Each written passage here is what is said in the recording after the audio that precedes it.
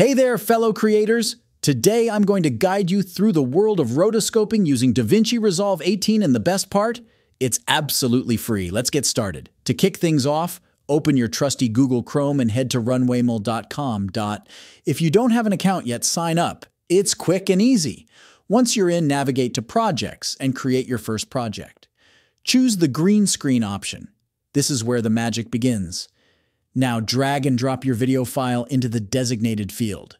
Runway ML will process it and you'll be ready to dive into the masking magic.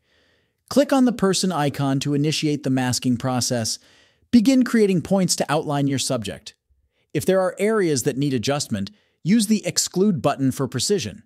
Move frame by frame, refining the mask as you go. Runway ML's AI does an excellent job, even handling tricky lighting situations. Once you're satisfied, hit the Export button. You can tweak the settings, change the background color, and export your masterpiece by clicking Export Mask. Download the final result. You're halfway there. Time to bring it into DaVinci Resolve. Drag and drop your freshly rotoscoped video into the timeline. Head to Fusion, press Shift and Space simultaneously, and search for Delta Keyer. Add it to your node tree.